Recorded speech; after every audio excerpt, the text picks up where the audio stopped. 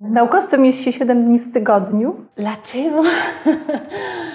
Nic innego nie chcę zrobić, tylko chcę być naukowcem. Lubię teren, lubię spokój. Kocham swoją pracę.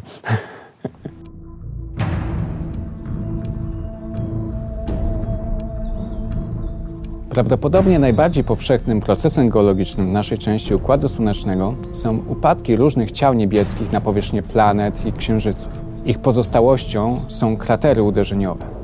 Jednym z takich unikalnych miejsc są kratery w Morasku w rejonie Poznania. Nie wiemy jednak, kiedy dokładnie miał miejsce ten upadek oraz jakie były skutki dla środowiska, dla żyjących wówczas ludzi. Celem naszego projektu jest poznanie tego poprzez zastosowanie zarówno badań mineralogicznych, geochemicznych, sedymentologicznych oraz modelowania komputerowego, aby dowiedzieć się, jaka była siła uderzenia, z jaką prędkością wpadł meteoryt oraz jakie były jego skutki. Ten oraz inne projekty badawcze nie zostałyby zrealizowane bez wsparcia Narodowego Centrum Nauki, które jako agencja wykonawcza finansuje badania podstawowe prowadzone w polskich jednostkach naukowych w trzech obszarach: nauki humanistyczne, społeczne i o sztuce, nauki ścisłe i techniczne oraz nauki o życiu. Przez ostatnie 4 lata na finansowanie badań podstawowych w postaci różnego rodzaju projektów badawczych, a także stypendiów doktorskich i staży podoktorskich wydaliśmy już prawie 3,5 miliarda złotych. Nasz system konkursowy ma charakter dwuetapowy. Ostateczne decyzje na zasadzie peer review są podejmowane przez zwykle kilkunastoosobowe panele składające się z najlepszych polskich naukowców. Celem projektu, realizowanego we współpracy z profesor Janą Tryską z Centrum Nowych Technologii Uniwersytetu Warszawskiego, jak również Cameronem Murą z University of Virginia, jest znalezienie skutecznej i nieinwazyjnej metody dostarczania prostych oligonukleotydów do komórek bakterii. Jako, że substancje te mogą być wykorzystane jako środki przeciwbakteryjne. Opracowanie skutecznej i nieinwazyjnej metody dostarczania prostych oligonukleotydów bądź ich analogów do komórek pozwoli wykorzystać te związki nie tylko jako substancje przeciwbakteryjne, ale również otworzy nowe drogi możliwości do zastosowania ich w biologii molekularnej, biotechnologii czy też diagnostyce. Siedzibą Narodowego Centrum Nauki jest Kraków. To tutaj podczas obrad Rady NCN zapadają najważniejsze decyzje dotyczące funkcjonowania centrum. Działając zgodnie z najlepszymi praktykami światowymi, centrum znacząco przyczynia się do rozwoju nauki w naszym kraju. Rada Narodowego Centrum Nauki przygotowała szeroką paletę konkursów dla poszczególnych grup polskich uczonych. Dla najmłodszych, dla doktorantów mamy w swojej ofercie konkursy Preludium, to konkurs badawczy, oraz konkurs Etiuda, to konkurs, w którym młodzi ludzie mogą otrzymać środki na staże międzynarodowe oraz stypendia.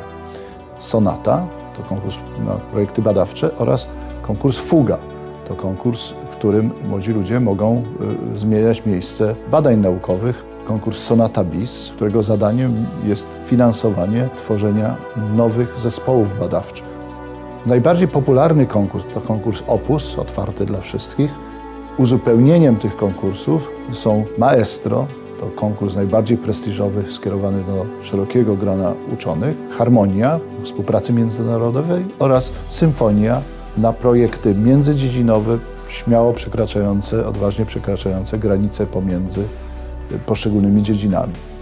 Trzeba również wspomnieć o konkursie Tango, który stanowi pomost pomiędzy badaniami podstawowymi a badaniami aplikacyjnymi.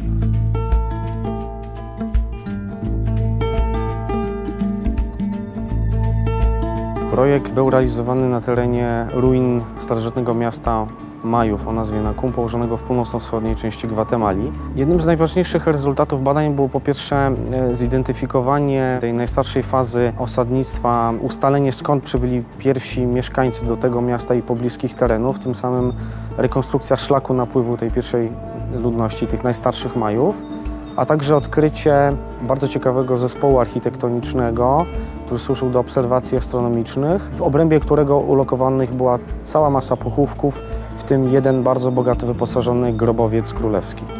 Aby zachęcić polskich badaczy do realizowania projektów z zagranicznymi naukowcami, NCN uczestniczy w międzynarodowych konsorcjach oraz ogłasza konkursy na projekty badawcze realizowane wspólnie przez naukowców z przynajmniej trzech krajów. W 2014 roku oferta konkursowa została rozszerzona o organizowany z niemiecką agencją grantową konkurs Beethoven z zakresu nauk humanistycznych, społecznych i o sztuce. Natomiast w 2015 roku po raz pierwszy zostanie ogłoszony konkurs Polones, skierowany do naukowców przyjeżdżających z zagranicy, którzy chcą prowadzić badania w polskich jednostkach naukowych.